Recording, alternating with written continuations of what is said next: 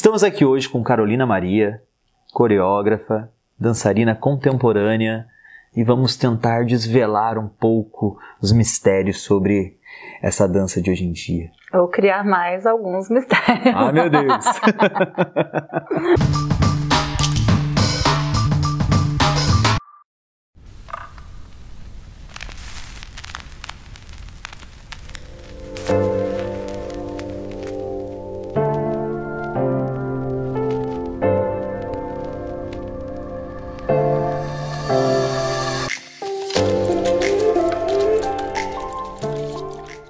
posso te chamar de Carol? Claro. Ah, é ótimo.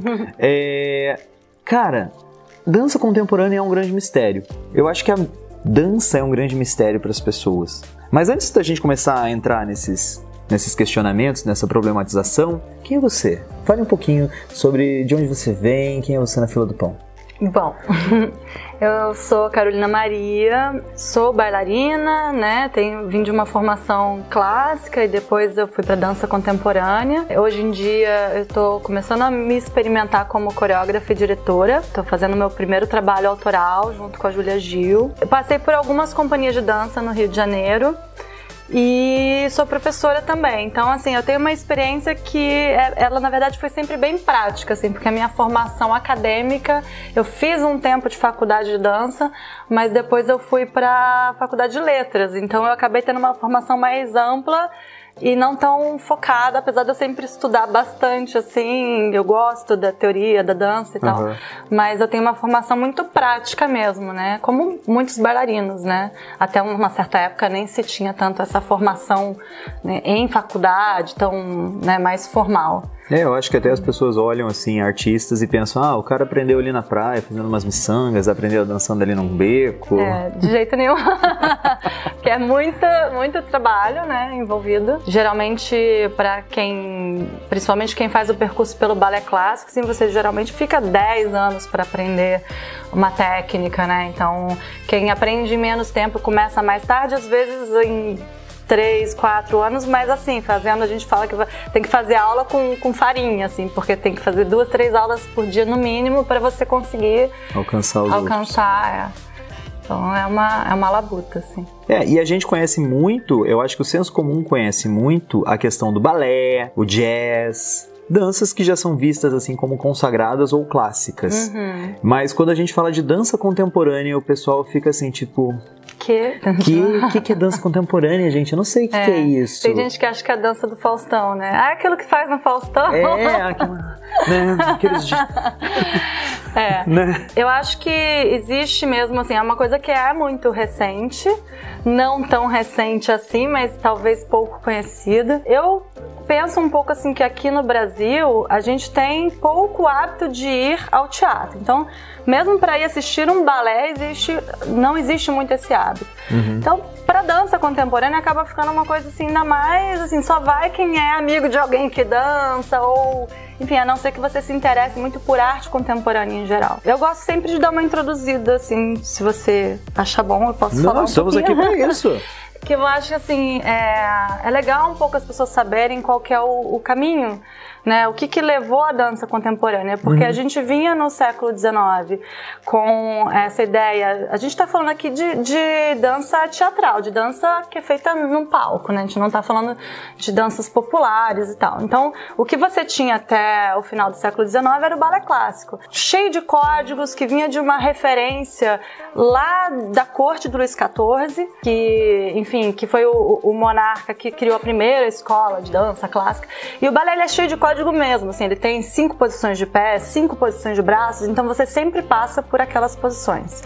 E numa época em que você tinha é, uma ideia de, de, de arte é, mais romântica, então sempre uma certa, um certo escapismo da realidade e tal. Uma questão de perfeição. Uma perfeição. Tudo que está aqui nesse mundo não é bom. Você está sempre indo, buscando algo uhum. em outro Tanto lugar. O balé. Né? Ele passa pra gente uma sensação de leveza, mas ele é uma dança extremamente agressiva e e de força, com né? o próprio corpo, né, do bailarino e da bailarina. Exatamente. Então, assim, você tinha nessa época essa coisa do movimento perfeito e tal, e a temática, né, tinha uma narrativa e a temática sempre nesse lugar muito distancia, distanciado da realidade. Daí, a dança moderna, que foi a precursora da dança contemporânea, vem questionando isso tudo, vem querendo falar da, do homem e da mulher reais, né, de um novo tempo, de o que, que é esse indivíduo nesse novo tempo. Então, é, expressar essa subjetividade. E aí, claro, vai sempre dialogar com arte moderna em geral, uhum. né? Expressionismo, né? O que vem antes um pouco da arte moderna ainda aparece na dança moderna. Uhum. Ali uma coisa final do século XIX, é. que, até o corpo, né, começa a ser visto de uma maneira diferente. Não tem uma coisa assim? Sim. Bom, aí eu consigo falar mais do olhar da dança, eu Sim. acho, né? Do que de um olhar antropológico. Mas assim, eu vejo que o que você tem é essa, esse corpo que está um pouco distanciado do que sente e está sempre buscando essa elevação. E aí quando você muda o século, começa esse questionamento do, do como que eu lido com a gravidade, como é que eu lido com o chão, né? Aí você começa a usar mais o chão, enfim. Isso tudo vai influenciar depois o que vai vir a ser a dança contemporânea, porque uhum. que depois, enfim, lá para a década de 60 já vai rolar um, um certo distanciamento também desse eu que se expressa às vezes de maneira até um pouco expressionista, ou que conta uma história ainda muitas vezes e vai começar a, a se despojar ainda mais disso, entrar num abstracionismo às vezes maior, ou ganhar mais as ruas, enfim, ganhar ainda uma, um certo dado de realidade que ainda a dança moderna não tinha conseguido. E até li esses dias uma coisa que eu achei interessante, que assim, é quando, só na década de 60, que é quando surge a dança contemporânea, é que a dança sai um pouco do quadro. Porque ainda na dança moderna, apesar de todos os questionamentos com o balé, ainda estava aquela dança, digamos, no quadro. Ainda não tinha acontecido o que tinha acontecido na arte moderna com Duchamp, por exemplo. Uhum. Que você quebra a ideia de quadro muitas vezes. Tinha um pedestal, é. uma coisa é, idealizada, né? Uma aura. É, havia tido esse questionamento, mas ainda estava lá no teatro, digamos, né, para as pessoas verem. Apesar de ter ainda já umas experimentações fora, mas ainda tem um pouco essa, esse lugar do artista, né? É, e a dança contemporânea ela quebra muito mais isso, né? Uhum.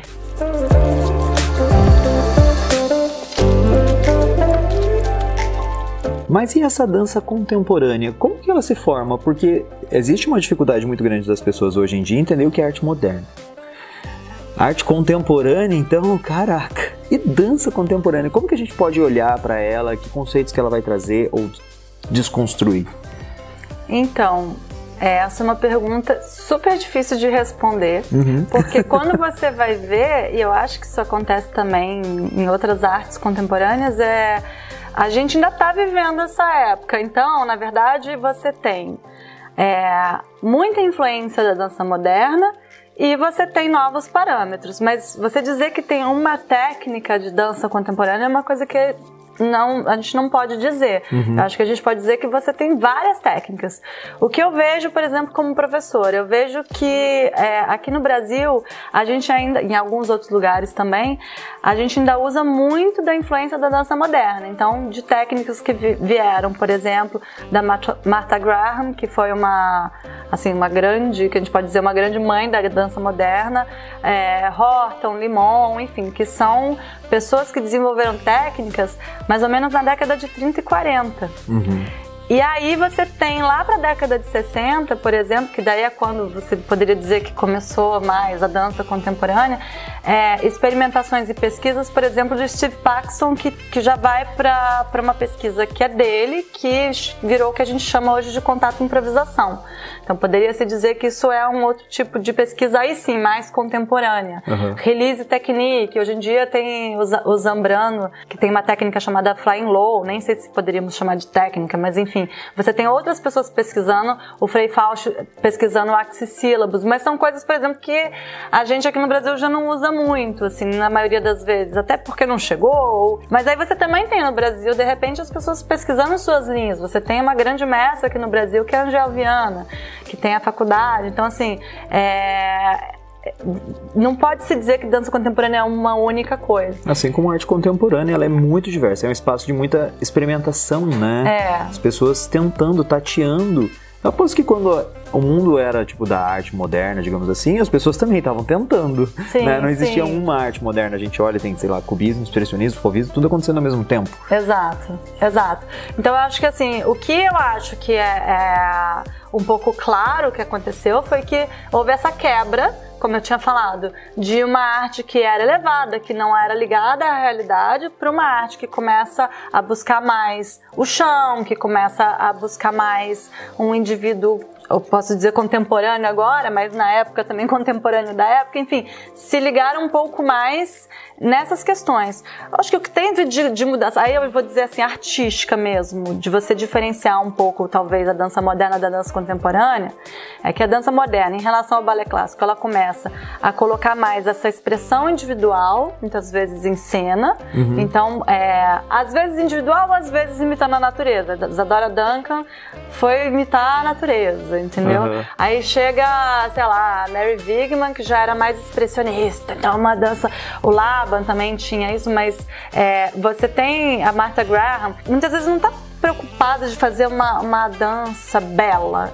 Mas de expressar o sentimento humano, entendeu? Então nem sempre isso era visto também como algo é, é, belo ou não era muitas vezes entendido, né? Uhum. Coisa de é, dá pra entender, as pessoas não entendem o que é dança contemporânea. Também não sei se entendiam o que era dança moderna, porque aquilo era muito estranho pra quem tava acostumado a ver balé, E né? quem, quem, quem, quem dirá que, sei lá, na corte de Luís XIV as pessoas entendiam que era balé.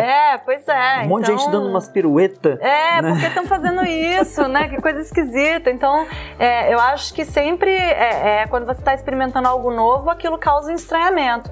E o que aconteceu, então, quando você vai tendo essa mudança, tem um momento chave aí que é a década de 60, né? Que é um burburinho no mundo todo, mas nos Estados Unidos acontece um movimento muito forte. E ali tem uma certa quebra também, que é o que eu brinquei, que eu li esses dias, que eu achei muito legal essa ideia de que acabou o quadro, porque começa a acontecer os happenings, então o artista se mistura com a pessoa que está na rua, nem sempre são só super bailarinos dançando, começa a se experimentar uma pessoa que não tem tanta essa formação em dança, e, e essa pessoa também acaba sendo aproveitada. Não, vamos experimentar uma coisa assim. Eu quero ver um corpo que não está tão preparado, sabe? Que tenha outra linguagem para oferecer, né? É porque daí também tem aquela ideia, tipo, por que só para um grupo específico? É. Né?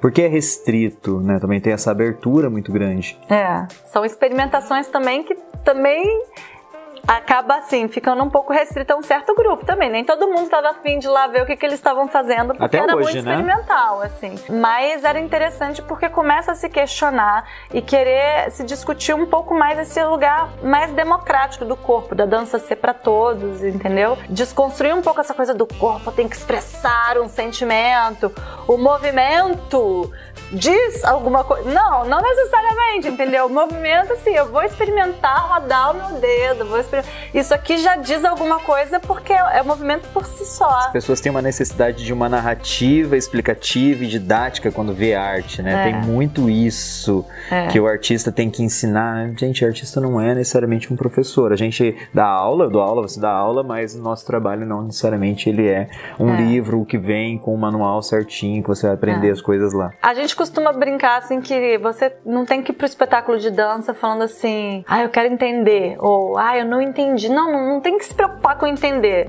Acho que a proposta é muito mais assim, o que, que você sentiu?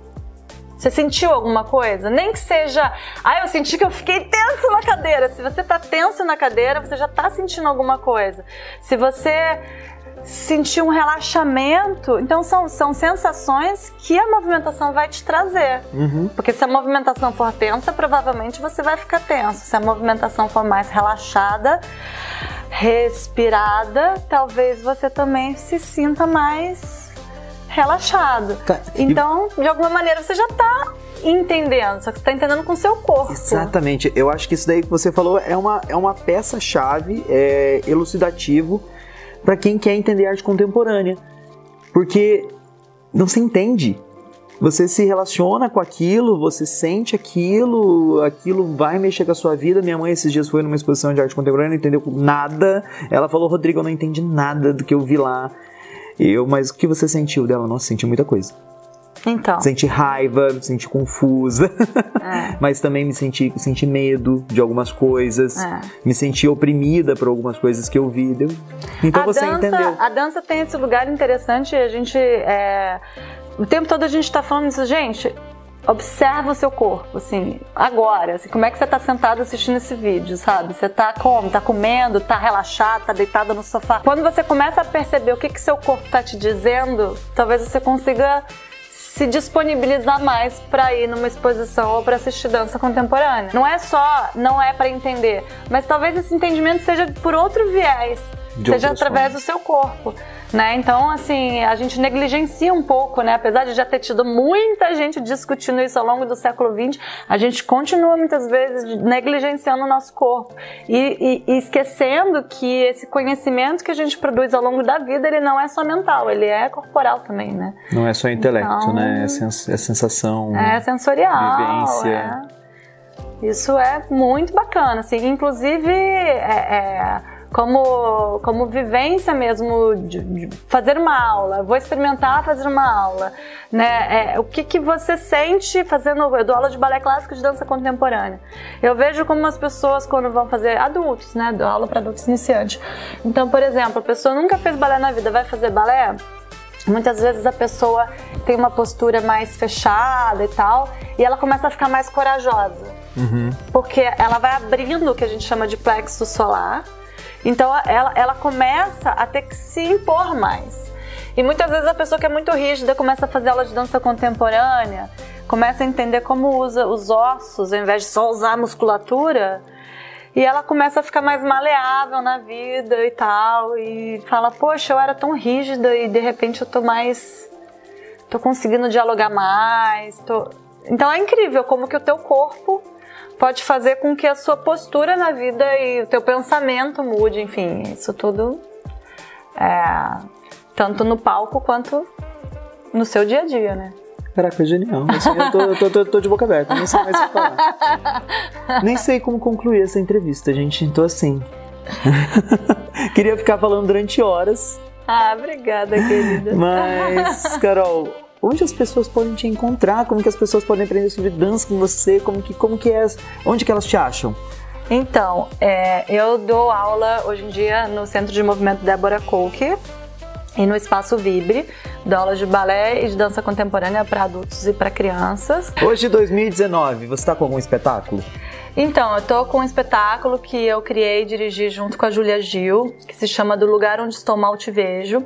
É, a gente está trabalhando a temática é, de como o projeto de cidade do Rio de Janeiro afeta os nossos corpos e as nossas relações. Nesse sentido, talvez nós tenhamos ido mais para uma linha meio moderna ou meio europeia, porque a gente não está indo para abstração Aham. de como o dedo ou a parte se move. A gente realmente acaba trabalhando sim com alguns símbolos, algumas imagens, porque eu acho que talvez até uma coisa que a gente eh, conversou antes de começar essa entrevista de é, é, como chegar no público, como fazer o público se aproximar do trabalho. Eu acho que isso sempre foi muito uma preocupação minha e da Júlia. Eu acho maravilhoso quem trabalha com, com uma arte mais de vanguarda. Eu não sei se a nossa arte é de vanguarda, mas ela é arte contemporânea e a gente quer sim comunicar com o público. Então, espero que a gente esteja conseguindo. Então, o trabalho se chama Do Lugar Onde Estou Mal Te Vejo. Tem o Instagram do projeto e tem meu Instagram também, se as pessoas quiserem me procurar. Estamos aí. Maravilhoso. Carol, só tenho a te agradecer. Muito obrigado por Obrigada. estar aqui, falar um pouquinho de dança com a gente. Espero que vocês tenham gostado dessa conversa. E é isso aí, acompanhe a gente nas redes sociais. E um grande beijo. Adorei o convite. Ah, Obrigada. Obrigado. tchau, tchau.